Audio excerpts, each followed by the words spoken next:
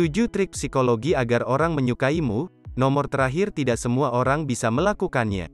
Disukai oleh orang lain bukanlah sesuatu yang diharuskan atau diwajibkan, tetapi disukai orang lain bisa dapat mempermudah urusan, mendapatkan banyak teman, serta bisa menambah relasi. Namun, bukan berarti kamu harus menjadi orang lain agar disukai oleh orang. Tetap jadilah dirimu sendiri agar kamu disukai orang lain. Berikut adalah beberapa tips psikologi agar orang lain menyukaimu. 1. Tersenyum saat berbicara dengan orang lain.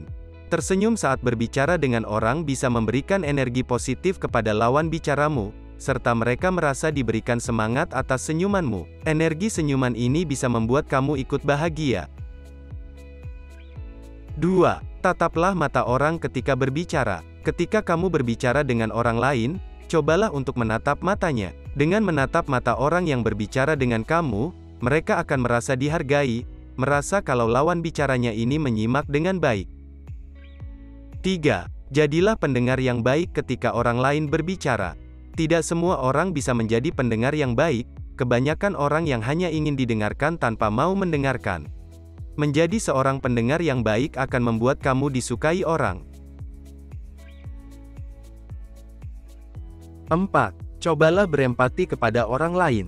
Ketika ada seseorang yang sedang menghadapi masalah, cobalah untuk memposisikan dirimu menjadi dia kamu, sehingga kamu bisa merasakan apa yang dia rasa. Berempati itu bukanlah hal yang susah. 5. Don't judge people by its cover.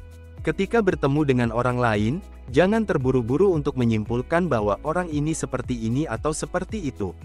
Cobalah untuk melihat sisi lain dari orang yang baru kamu temui. 6. Berikan afirmasi positif kepada orang lain.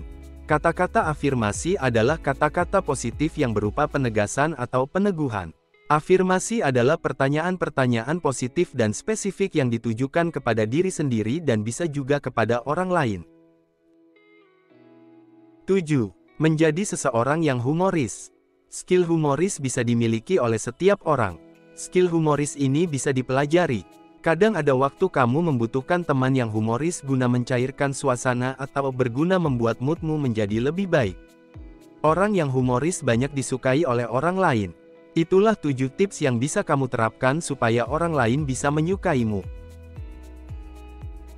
Semoga video kali ini dapat bermanfaat buat kalian. Terima kasih kepada kalian yang telah menonton video ini. Jangan lupa tekan tombol subscribe-nya dan nyalakan notifikasinya untuk mendapatkan video-video lainnya dari channel kami.